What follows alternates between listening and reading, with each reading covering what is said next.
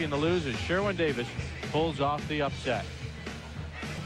Well, we have a four-round light heavyweight bout for you. Roger Bowden and Troy Ross from the Cintas Center in Cincinnati, Ohio. Friday Night Fights presented by Miller High Life.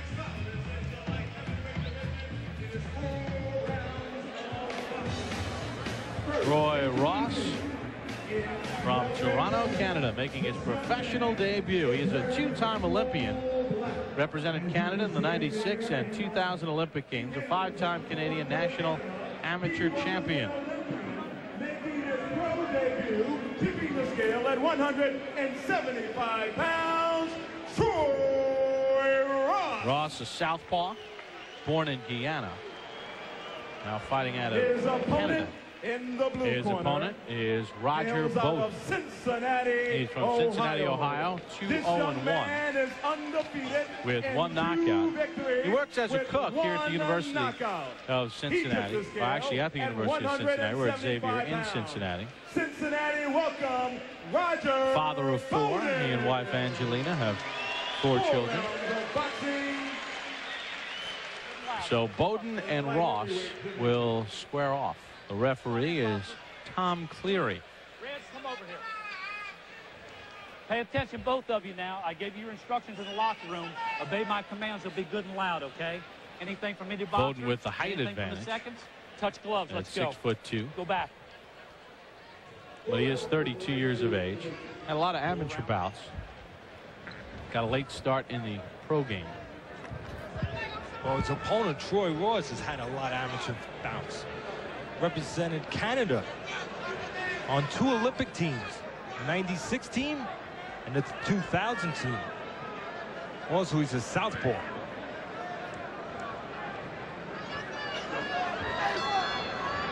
So we begin round number one. This is a four-round bout. Ross in the black trunks, Bowden in the white. As you mentioned, Bowden turning pro late, 32 years old. He's trying to make up for lost time, staying very active. This is his fourth fight in two months.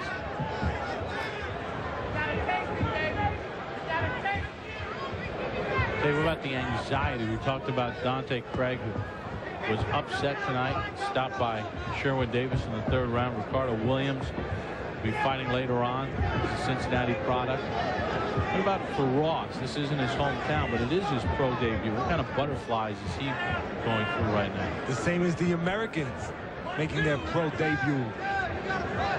Anybody that makes their pro debut, even though you've had a lot of fight, in this case, Ross, they both get throw each other on the floor, get tangled up. In this case, Ross had 100 amateur fights. But until you go through the process, until you're christened, as we like to say in the business, with your first pro fight, you're not sure if everything's going to be all right. The first pro fight, many times for a young fighter, no matter how good they've been in the amateur, is the most important fight. You want to be careful with that first opponent. Yeah, this game is mental, Bob. And mentally, even though they've had a lot of amateur fights, they're going into pros. Hey, there's a lot of glitter on the body of Bowden. I don't know if that came from his warm-up robe or what, but he's got glitter on his chest and on his head. And I'm surprised they didn't make him wipe that all off because that could get in the eye of Ross. Yes, it could. Difficult style so far, even though it's just a defensive style by Bowden. It's all up to Ross to make the fight. Ross wasn't coming forward. The referee would have to talk to both fighters because there would be no back. Step back, step back. Come on, you guys, let it go. Ross a little over anxious because of the style of Bowden. Overshooting his shots as he sees Bowden stationary for a moment. The corner of Ross is going to have to tell him, work your way in with the jab, but be under control. Be ready to stop on a dime. Don't overshoot the man as you get close. They did a nice thing of shooting a straight hand to the body, then he got caught with a counter shot. You mentioned that Ross is the shorter man.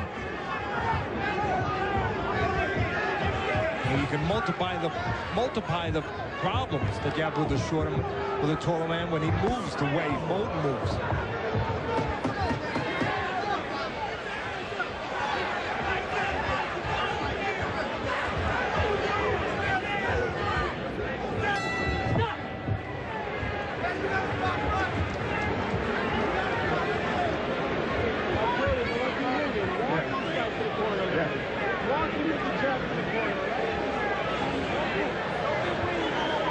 You to the corner of Troy Ross. Over and over.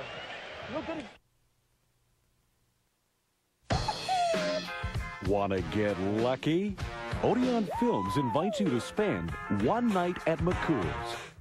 You could win a fabulous weekend getaway for you and three friends to Las Vegas, courtesy of Signature Vacations. Or a Skechers prize pack valued at $300. Enter online at OdeonFilms.com or at any participating Skechers retailer. Get lucky.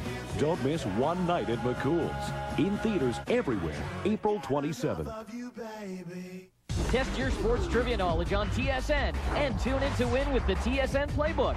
A six-night all-inclusive first-class trip for two across Canada aboard Via Silver and Blue. A His and Hers pair of laureate watches finished in 23-karat gold from Wittnauer or one of two Casio digital cameras. Weekly prize updates in the Ottawa Sun and Toronto Sun. Pick up your TSN Playbook at participating Via Rail and Esso locations. Hit tsn.ca slash playbook for complete details. Guys, switch to Mach 3. Three blades for the closest shave in a single stroke. You'll love the difference. And so will we. Mach 3. From Gillette. When I get in the zone, it's just me and the ball. Bring it on. It all comes down to one season, one game, one inning, one at bat, one moment. That's what I'm talking about. Jays, Rangers, TSN Tuesday and Wednesday. Can you see it? Live it. TSN. Corner of Troy Ross, Teddy. He did he did it once in the first round, but they asked him, stop winging your punches, just shoot straight shots right to his chest. Yeah, because the chest is not moving. When you have a style, styles is what it's all about in this business. When you have a style like a Bowden moving all the time, you want to try something stationary to land on just so you can set up your other punches. Ross making his pro debut in the black trunks, five-time Canadian national amateur champion, two-time Olympian. Lunges with a left hand and shoots a shot to the body. See, the key here, the advantage, no doubt, is to the shorter Ross when he gets close to the taller Bowden. Ross has to be under control when he gets close, as I mentioned before. Not get tied up. He's in such a hurry to get in there because of the style the defensive style Bowden that he has to make sure he controls that anxiety. When he gets in there, he's not too close. This way he can do something. Dave, what would you make of Ross's hand speed? Looks like he has good hand speed. Again, a little over anxious to the head. Style Bowden can make you over anxious. That's where you have to call on your composure, your professionalism. Of course, as you mentioned, it's a little bit more difficult for Ross being in his first pro fight.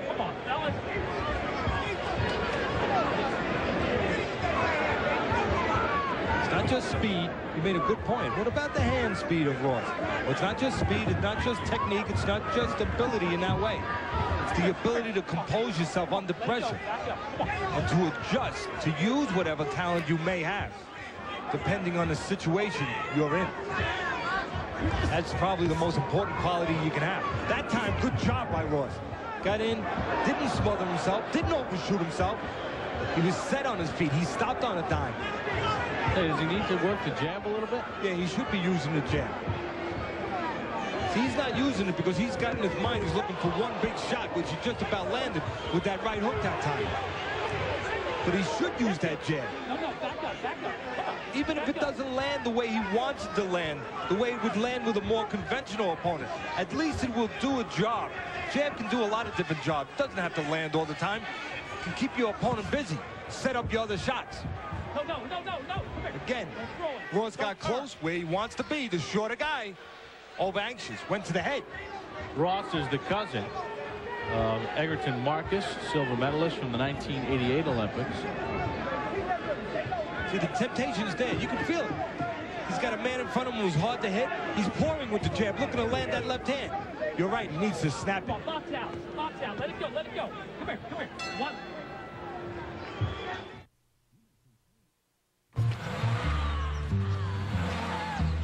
Got a little SUV and a big load? Good luck. But Dodge Durango is different.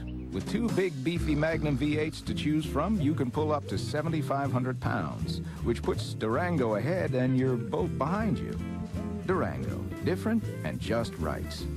Now with five-star protection, it's peace of mind that comes with all 2001 Dodge Durangos.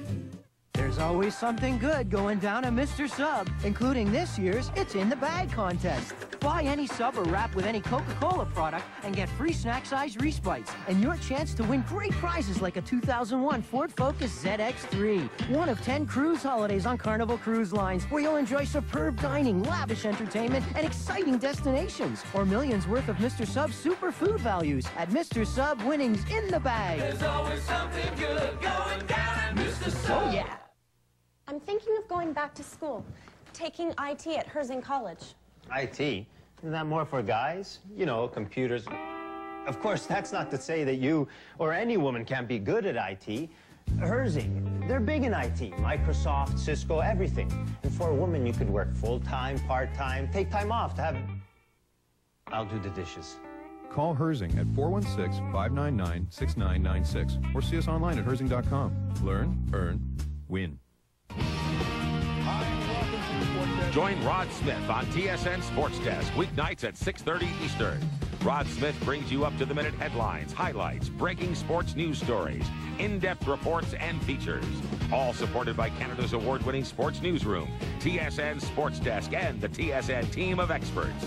Join Rod Smith on Canada's number one source for sports news and information.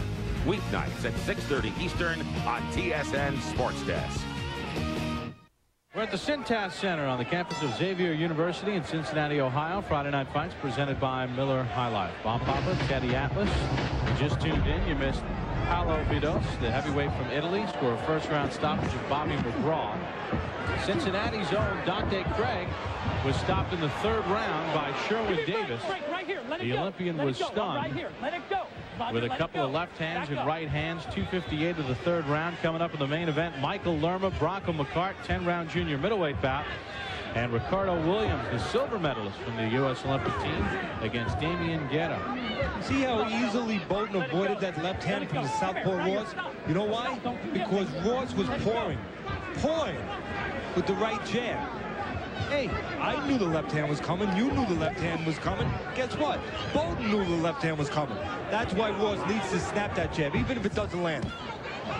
Wings a right hook to the body. He's tell you the other thing he's not doing, which his corner has said to do, and you have said to do, is throw those straight shots right to the chest of Bowden. Two reasons he's not doing that. One, this is his pro debut. Little old anxious, wants to impress too much. Two, very difficult style to be in there with, especially in the pro debut. Defensive-minded man who wants to survive, not win. And the lost mouthpiece. When a man just wants to survive, as it seems Bowden wants to do, 32-year-old Bowden, it's very difficult to knock him out. Come here. Come here. But there are still certain things that you should be doing, as you touched on.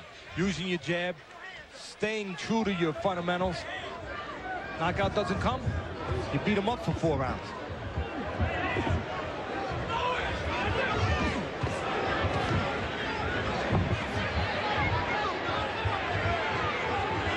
Trying so hard to punch through Bowden. He's forgetting about being accurate. It's like a pitcher that can throw 99 but can't get it over the plate. Bowden's letting his mouthpiece go. Second time he's done that. I'm sure the referee's going to warn him soon. That mouthpiece doesn't stay in your mouth. And if the Oh, referee yeah, thinks that that he's purposely out. It letting it come out of Put his mouth, down. well, then the Come here. referee Five. can take points away. One. No, no, you're right here. One point. One point. One point. In fact, you know what, Bob? I believe that's what he's doing. Tom Cleary did it. And Bowden wouldn't even allow his trainer to put the mouthpiece in. He was just standing there, and they were giving him advice. And referee Tom Cleary got a little tired of that. Good job by the ref. Wants to do everything he can. I'll tell you what, fight. Bowden has done a better job in this fight of tackling than he has of punching. That's the second time he's tackled. Roger, don't you put that Ross. in there. I have I'll a tell what, funny Roger, feeling gonna Bowden. it if you Just spit it out watch. again. I could be wrong. Come here, Boxer. Come here. May not want to be in there no anymore. Quit And wrestling with me sometimes there's Quit different ways you can get yourself out of there. You can spit your mouthpiece out. You can tackle a man. You can push a man. Bite his can, ear. You can get disqualified. Exactly right. Exactly right. Let's watch.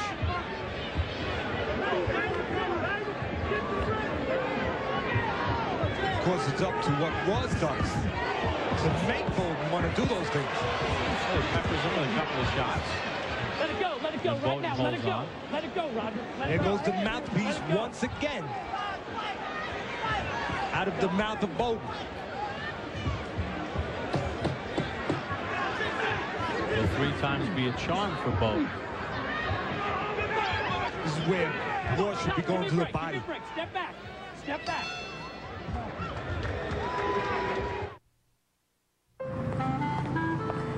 Bob, which one? Oh, thanks, Bob. Wouldn't it be great if everyone was as dependable as your factory-trained Honda technician? Come in for a genuine Honda oil and filter change. It's only $26.88 every day. Don't open your hood to strangers. Here? Bring it home. Honda. Well, folks, I'm back, and I am on a new mission for Goodyear. It seems that some folks, get this, think all tires are created equal. Well, wrong you are, Sparky. People who depend on their tires choose Goodyear. Heck, the Stealth Bomber has Goodyear tires. They're the number one choice in Canada for school buses and police cars, too. That's me in the back. of course, you know, conducting a tire inspection. But that's not the point, folks. Think about your tires. Think safe. Think Goodyear. I was complimenting them on their badges. I'm off to London, then Paris, Prague, Hong Kong, and back through Seattle. I'll be home in three weeks. Aren't you forgetting something? How could I ever forget that?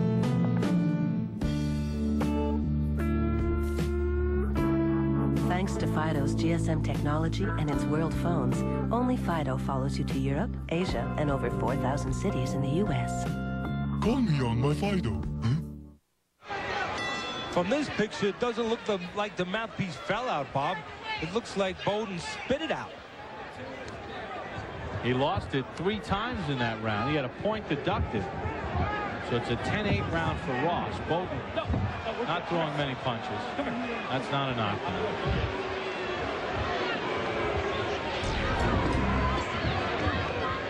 Bowden wasn't even listening to his corner, Teddy, in between rounds three and four.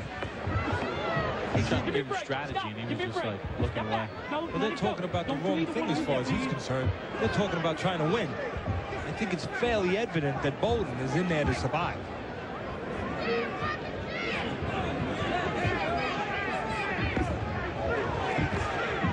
Sneaky right hand there from Bowden. As Ross, who's taking all the chances, was coming in. You got to remember now, just like the fight we had earlier in the night with the great upset. And the Olympian Craig was knocked out when he was having all his way. You don't want to get too careless here now if you're Ross. You don't want to take for granted that Bowden doesn't have arms, that he can't throw back suddenly. The one difference, though, Teddy, with Craig, he was winging away. Whereas Ross constantly keeps his defense up. Even when he throws his power shots, he's pretty quick to get back into a defensive posture. He's always on edge a little bit. Good point.